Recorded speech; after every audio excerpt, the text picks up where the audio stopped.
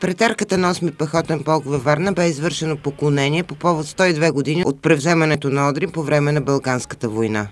Почетният взвод на военноморските сили прие началникът на щаба на ВМС, капитан първи ранг Коста Андреев. Председателят на Тракийското дружество Варна Роза Водоничарова припомни историята. В 10 часа на 26 март 1913 година българските части под развети бойни знамена и звуците на победни маршове влизат в непревзимаемата крепост Одрин.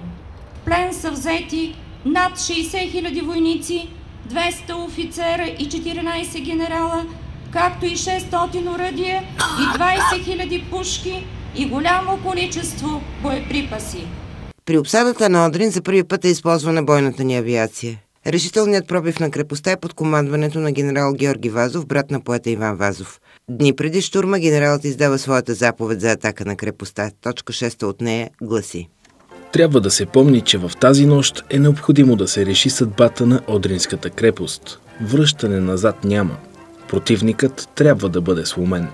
Напред ни чакат слава и мир. Назад безчестие и смърт.